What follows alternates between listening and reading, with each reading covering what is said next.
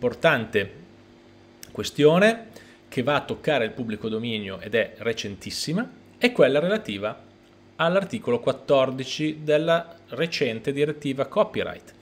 la direttiva 790 del 2019, quella direttiva che è stata approvata nel eh, del 2019 e che ha dato tempo agli Stati membri circa due anni per essere implementata, per essere recepita completamente nelle, nelle varie legislazioni locali. Eh, il tempo, eh, diciamo la data definitiva era il 7 di giugno, oggi come sapete siamo esattamente il giorno successivo, 8 di giugno, e, eh, e ad oggi non si è visto l'ultimo pezzo diciamo, dell'attuazione, nel senso che è stata fatta la, la legge delega, che è la legge con cui il Parlamento dà compito al governo di fare poi il decreto vero e proprio che deve intervenire sulla legge, sulla legge 633 del 41, la nostra legge sul diritto d'autore, e questo pezzo manca ad oggi, quindi siamo in ritardo. Non, è, non mi stupisce, nel senso che il legislatore italiano è abbastanza cade frequentemente in questa cosa, cioè arriviamo sempre tardi, se il legislatore europeo ci dà uh, il tempo, due anni di tempo, noi ci, ci, li prendiamo tutti, a volte andiamo fuori di qualche settimana, di qualche mese, vedremo cosa faranno. Ehm, tema abbastanza dibattuto perché la direttiva è una direttiva abbastanza innovativa, non tanto su questo aspetto devo dire, perché la grande innovazione si avrà più che altro sui diritti, eh, questo nuovo diritto che si attribuisce alle, alle case editrici di, eh, di giornali, di informazione, di news eh, a, favore, cioè a favore di queste case editrici e ehm, a, a, cui diciamo, si attribuisce la possibilità di fare cassa sugli utilizzi che vengono fatti delle loro news attraverso le, le piattaforme social, le piattaforme web. Quindi quello effettivamente sarà rivoluzionario perché costringerà i grandi provider di piattaforme web social che come sapete non stanno molto in Europa, sono da altre parti e quindi dovremo anche preoccuparci di, di, di far valere una norma europea su soggetti che eh, eh, in realtà eh, dichiarano di applicare la normativa spesso americana o, o, addirittura cinese a seconda dei casi e quindi ci sarà da divertirsi su quello, però ecco, quello sarà sicuramente innovativa, però tra le varie parti, eh, tra le varie novità introdotte da questa direttiva ce n'è anche una che incide proprio sul pubblico dominio e, ed è relativo al pubblico dominio ehm, sulle riproduzioni delle opere dell'arte visiva. Se vi ricordate, quando abbiamo parlato dei diritti sulle fotografie, articolo 87, lo posso anche andare a riprendere perché ce l'abbiamo qua nelle slide, quindi poco male. L'articolo 87 dava questa definizione, diceva che, e forse ve l'avevo già anticipato, che rientrano nella definizione di mera fotografia, cioè di, que- di, quelle fotografie non creative ma che comunque sono tutelate da un diritto connesso che dura vent'anni dallo scatto, quindi un diritto minore rispetto al diritto d'autore in senso proprio, però comunque un, un diritto che pesa, vengono comprese anche, vedete, in questa definizione le riproduzioni di opere dell'arte figurativa, cioè la fotografia che il fotografo fa a un quadro per essere poi ad esempio riprodotta all'interno del catalogo della mostra o all'interno di un libro di storia dell'arte, genera a favore del fotografo un diritto connesso che dura vent'anni dallo scatto. Ecco, questa cosa dovrebbe essere modificata, cioè non, non potrà più essere così perché la, la, l'articolo 14 della eh, direttiva copyright della nuova direttiva copyright, vedete, dice che gli Stati membri provvedono a che alla scadenza della durata di protezione di un'opera dell'arte visiva, il materiale derivante da un atto di riproduzione di tale opera non sia soggetto al diritto d'autore o a diritti connessi, a meno che il materiale risultante da tale atto di riproduzione sia originale, nel senso che costituisce una creazione intellettuale propria dell'autore. Cosa ci sta dicendo? Vuol dire che una mera riproduzione eh, bidimensionale di un quadro o di una scultura non può generare un nuovo diritto a favore del fotografo, a meno che questa fotografia non sia una semplice riproduzione, ma il fotografo abbia contestualizzato il quadro, la scultura, che ne so, l'affresco in un modo tale che ha generato una, una fotografia creativa. E quindi non siamo più sotto la definizione dell'articolo 87 ma una fotografia, eh, opera fotografica in senso pieno. Ok quindi articolo 2,7.7 in tutti gli altri casi non, non, si può creare quel diritto. Quindi vedete che da qua in poi, quando finalmente avremo la norma che, eh, che, che, che eh, ci dice di preciso come il nostro legislatore ha voluto interpretare questa indicazione del, del, del, dell'Unione Europea, del Parlamento Europeo, eh, dovrebbe appunto succedere questo, cioè una modifica di, di, quella, di quella definizione dell'articolo 87 e probabilmente qualche indicazione in più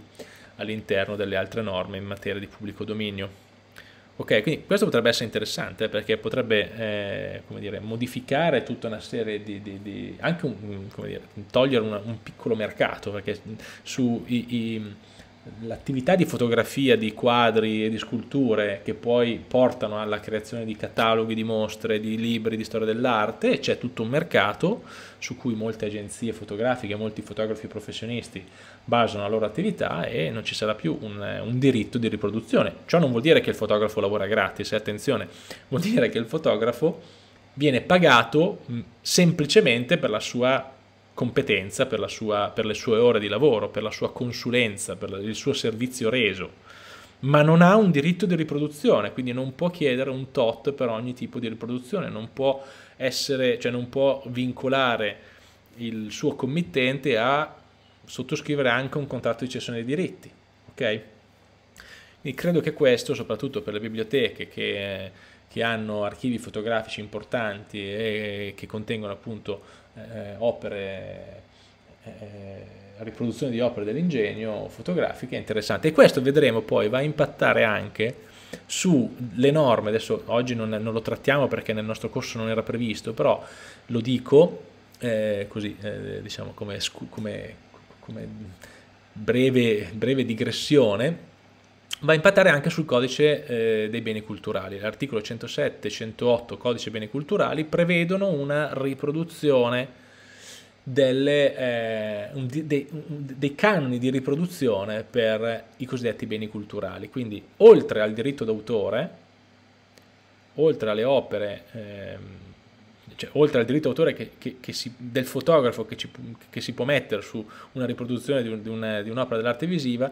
dobbiamo tenere presente anche i canoni di riproduzione che l'ente che ha in custodia il bene, quindi il museo, la, la galleria, eh, lo Stato, il comune, cioè l'ente pubblico che ha in custodia un bene culturale classificato come bene culturale può chiedere per la sua riproduzione. Questa è una norma che abbiamo noi italiani e pochi altri paesi, ovviamente è una norma che normalmente hanno